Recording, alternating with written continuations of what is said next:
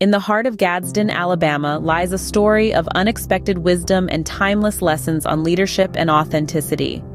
From the outside, this optometrist's office might seem like any other in a quaint town, but as we stepped inside, we found ourselves on a journey that would challenge our perceptions of leadership and success.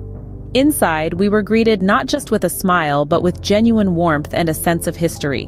Kayla, with her radiant hospitality, and the optometrist, with his passion for his alma mater and his craft, exemplified true service.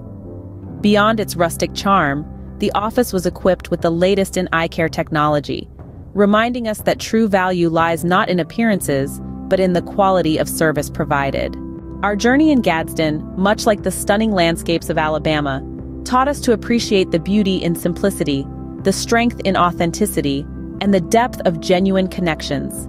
In a world obsessed with the external, the story of this optometrist's office serves as a powerful reminder. Leadership isn't about the facade, it's about the impact we make, the legacy we leave, and the authenticity we bring to every interaction.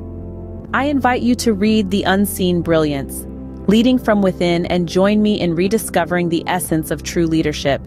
Let's embark on this journey together, to lead with heart, serve with purpose, and inspire with authenticity. Discover the story that reminds us of the brilliance that lies within each of us, waiting to be uncovered. Until next time, lead with your heart and make every moment count.